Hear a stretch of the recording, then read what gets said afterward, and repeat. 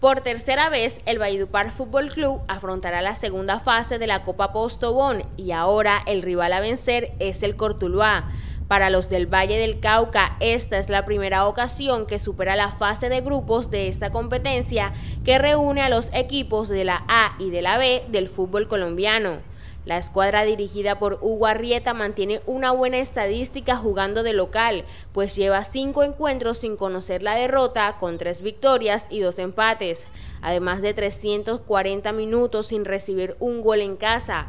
El ataque verde y blanco este miércoles estará comandado por los goleadores Wilmer Parra Cadena y Oscar Santos. El partido de ida entre Valledupar Fútbol Club y Cortuluá será a las 3 de la tarde del miércoles 10 de septiembre en el Estadio Federico Serrano Soto de la ciudad de Riohacha. Y la vuelta será el próximo 17 de septiembre.